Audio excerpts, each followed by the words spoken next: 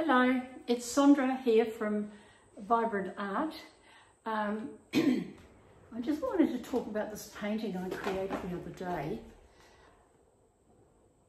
I actually quite like it, but I think the colour needs a little bit more contrast and a bit more energy. I just find that part through here is quite dull. Uh, and I made this using three colours, just the sienna colour, the turquoise and phthalo, turquoise and phthalo, um, turquoise, the sienna and white and a bit of black mixed in with it. Uh, the white, of course, I used a sort of a flow white to make that nice flow movement there. But I still feel the painting is lacking. So I've been looking at it for a while and when I get stuck, I use my stencils. I use these a lot. I love the stencils, especially this one here. So I've got here a little bit of the turquoise paint mixed in with a medium to make it nice and, and I'm just going to just put a couple of little marks down here. It'll probably run because it's very, very runny.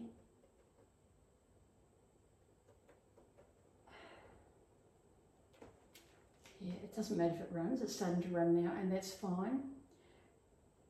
And that's the, the turquoise, I've taken it down to the bottom.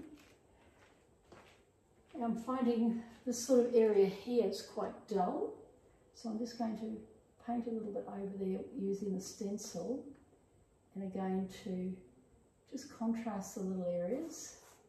Um, looking up here, looking a little bit dull, so we'll just add a bit more colouring to that. Not a lot, it's just, as you can see, whoops, it's just little touches just that are going to make that difference, which I'll show you in a moment why we're doing this. Um, and just take it up towards the top so it looks like it's flowing through and creating the movement. You always look for rhythm and movement in your art and that's what I've got here, going, going up here. There. So that's looking a little bit like it belongs. We've got some runs here, I don't mind that. That's good. Now, I'm going to mix this with white, a little bit of white.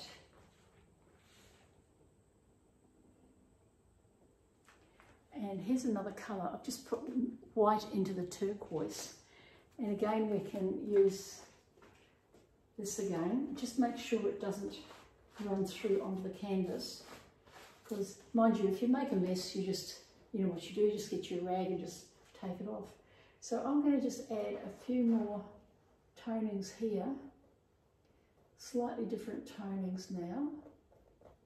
Just trying to create a little bit more interest into the movement and the design. You can see that already, and I'll bring it to you soon, and I'll put a little bit more up here.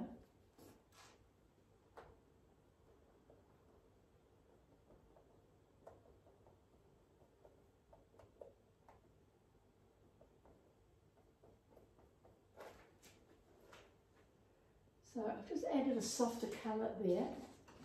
And I'll bring it up. You can have a little look. You can see I've added a little bit softer colour here and down here. It's not easy to see, but it's, it's subtle. And that's the whole idea of it. You want it so that when you look at a painting, you can't see everything, but you can see that there's an interesting lighter spot here. And you sort of think, well, what is that? And I'm going to run it down here and through. So you've got this movement coming through to create this. Uh, here we go, Just going to run it across here. Don't overdo it, just a few places like there already. Uh, let's run a little bit there, but that's okay.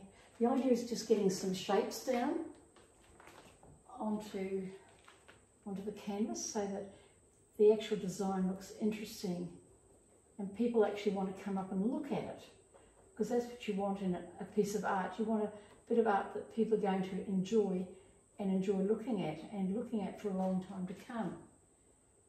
Now, I Put another bit there, I think. It's just a matter of even running it around here.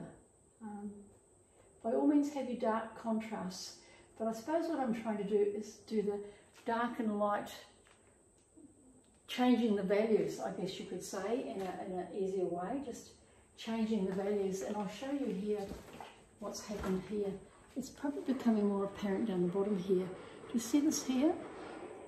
It's, you can see it quite clearly there running through the light. And if I just paint there, you can see how the dark and the light is happening as I do it. And you actually don't even need a stencil. You can just put it in yourself where you feel. You can actually just lighten up certain areas like so. So there you are. And I think that's a lot better. But I think it's calling for more lightness in it. And looking at this, I have this wonderful little bottle here that I use. It's a wonderful little thing. It's a little refillable bottle. It's got the tiny little tube at the end. I don't know if you can see it that clearly. And you could use it to do the movement here. But I'm going to just engrave and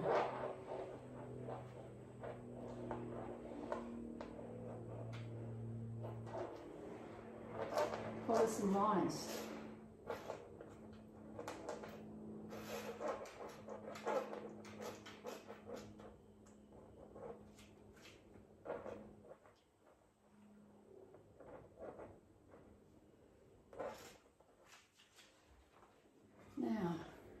getting more squiggly and a lot more contrast.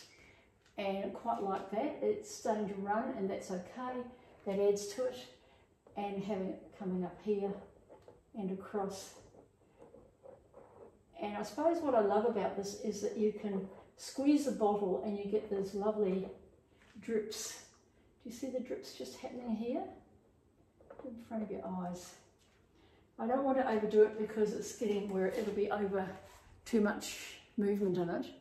But yeah, it's creating some very, very interesting drips. And I think in terms of this art here, I think it's looking a lot more interesting. If the drips get too heavy, I then stop what I'm doing and just leave the painting sit to sit and dry because you don't want the drips running all the way and going all the way down and all over the place, do you? I can just see a little area here. So that's that's probably about all I want to do today is just teach you that um, if you're not happy with a painting, there are many, many ways you can finish it. And you don't have to think, well, I don't like that and it's a mess. You can always either gesso over it again, start again, or if you don't want to do that, you can actually use a cloth and wipe it all off. And I could do that now. I could use a cloth and wipe all that off. But I actually think the drips are funny running again. I just get a, a cloth and just stop it running too far. I don't mind some drips, but not a whole lot like that. Um, enjoying that up. You see it's coming through here. I think that drippy effect is actually quite nice coming up and through. It's running along, which is good. You don't want it to go too far because it will take over the painting. So I tend to have a little rag here and mop it up as I go.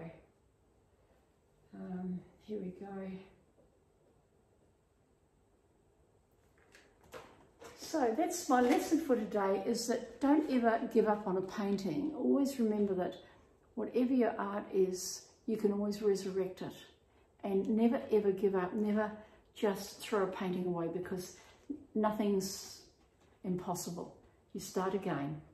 You get calm, be positive, believe you can do it, and you start again.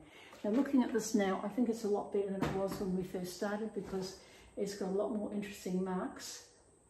The white is really white now, and that is standing out and making it come forward. And the dark bits are going back, which I think is a nice look. Um, yeah, I think I'm quite happy with this. Um, and you know, like anything, you, you see something, you want to change it and you see something and you sort of think, oh, I'll just add this bit and I'll just put this in. It doesn't matter, you can never overdo it because you can just get your little gesso, as I said to you many, many times, get your little pot of gesso and away you go, paint over the whole thing and start again. Sure, there'll be some uh, textile or texture into the, this, especially from these here, but that doesn't matter, that actually adds to a painting. So nothing is ever wasted, and the more you paint, the better you're going to get. The more you let go and let it flow, the better you're going to get. So that's why I call my course that I've done Let It Go, Let It Flow. And that's that um, course that's online under www.vibrantsilks.com. It's a very short course creating abstract painting from beginning to end. And you can create whatever colours you want, whatever style you want, or you want to paint it along with me. That's fine. And the final thing is when we're looking at paintings, it's always important to turn them around. Does it look all right like that? I don't think so. It look better like that? Uh, no. Does it look better like that one? Well, yes, I suppose it could look all right, but it seems to be a bit wide there. Normally the top is thinner. So back to this one then. And as you know, I do a lot of turning, turning the canvas. Very important because as you keep turning, you see different perspectives. So this is like a beach in paradise to me, like my little piece of paradise, you know, and memories of a beach and swimming, the sea, the sand and the sun. Okay, that's why I created this painting. So we're always motivated by something, aren't we? Anyway, thanks for watching and see you again. Bye.